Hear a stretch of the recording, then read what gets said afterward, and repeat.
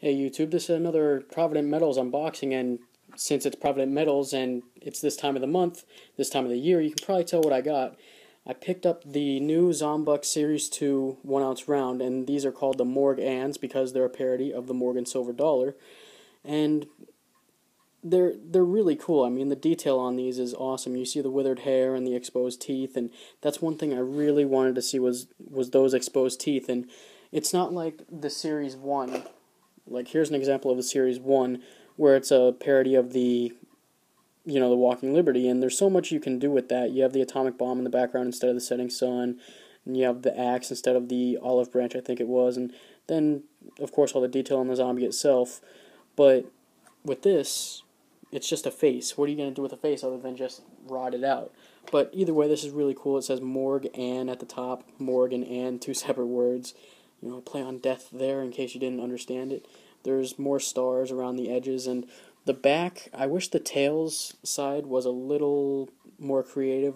If this was the design on the first one, then it would be cool. If it wasn't on the second one, it would it would be cool if they designed the back differently for everyone. You know, maybe the biohazard sign on one, maybe a some kind of virus cell on another. Who who knows what else? Just get a little more creative with it. But not to say these are bad coins. These are awesome coins. I got three of them. I didn't get any of the copper rounds because those aren't released until the 11th. And I'm telling you, those copper rounds are probably going to be worth something because if you get the entire series, then chances are people are going to want to pay to have the whole series. So maybe take them to the coin shop and sell all 10 of them. And that's what sucks is they're only going to release one per quarter, so you're going to wait until 2015 to get all 10. But the Morgue Anne Zombucks Series 2, really cool.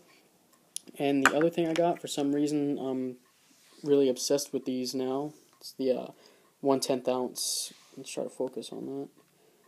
There you go. One tenth ounce Canadian gold, and it's I just really like the look of these the Canadian maple leafs.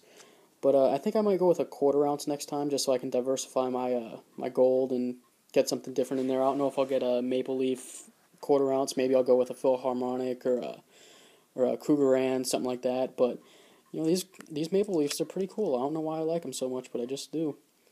So, that is my Provident Metals unboxing. I got some more Zombucks, a maple leaf, and I'll see you next time.